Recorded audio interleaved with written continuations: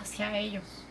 Pero igual le doy gracias a Dios porque nunca olvidé a los padres que tuve, a los excelentes maestros que tuve. Y fue muy bonito. Gracias, Ibe. A buena hora.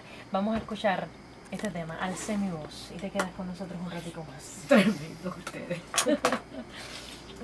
Eso, La este, candela. estos son momentos muy emocionantes y, ya, ya, ya. y extrañas el habla seguro. Oh, sí, me encanta. Cosa que me gusta más que enseñar. Ahí sí estoy clara de que mi vocación más clara. Yo no sé si era cantar, pero enseñarse, educar. Tengo vocación para eso porque creo que soy capaz de sacrificar muchas cosas en pos de, de poderle brindar algo a alguien que lo haga crecer en un punto, ¿no?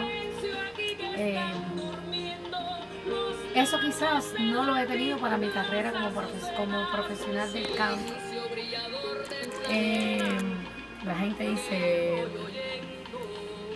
eh, que si la figura, que si no sé cuántas horas de ejercicio, es que eso yo lo hice en mi estoy un poco cansada, yo no soy la misma persona. Hay personas que hacen grandes sacrificios, pero yo creo que el, sacrificio más grande que he hecho como artista es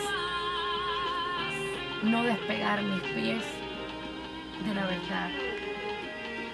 Y es que no somos ídolos para andar por el cielo, para que nos adoren, ser eso, sino buscar algo que te niegue ser eso, ser una persona como todas las demás, tratando de ser un ejemplo en lo demás, en lo otro, en ser una persona que aporte a otros algo positivo, no algo negativo.